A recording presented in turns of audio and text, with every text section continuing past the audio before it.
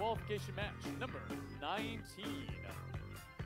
Space Explorers between the lines. Three, two, one, go. And with the start of qualification match number 19, we've got all movement from um, all six robots on the field. We've got 3951 looking to line up, potentially score that hatch panel onto the rocket. That's Team Suits. On the Red Alliance side, we have team number 28. That's the Pierson Whalers heading over to their rocket.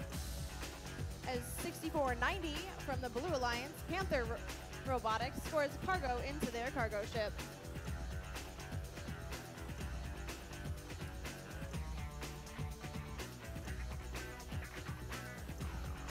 Red Alliance member 1518 scoring cargo into their cargo ship and heading over there for a second time. 6490 Panther Robotics answering by also putting cargo into their cargo ship. 3799 lining up with their cargo ship to make sure they get that hatch panel on there for two points so they can put that cargo in there for three.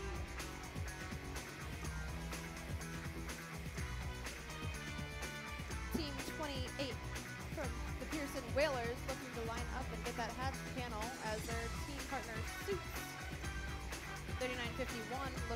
the cargo in that rocket ship. 3799 dancing a little bit with their Blue Alliance partners, heading over that cargo cargo ship to score cargo. On the Blue Alliance side, we see them scoring more cargo. 3951 going over to, to their rocket, maybe, or their cargo ship. Let's see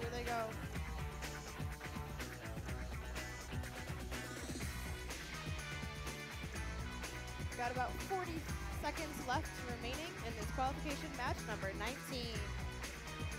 Electric Fire taking their robot taking that cargo over to their cargo ship to score it. That team 28 going up on that hab platform as we get closer to the end of this match. 31-17, that's Harfangs out of Quebec, Canada, are looking to get on top of that hab platform as 28 from the Red Alliance looks to do the same. They've got 14 seconds to do it. Let's see if they're able. 6490 looking like they're getting a little caught up on that cargo over there. The whole Red Alliance is on that habitat, and that's the end of qualification match. And our scores are ready for it with the Blue Alliance taking that qualification match number 19 with 45 to 40.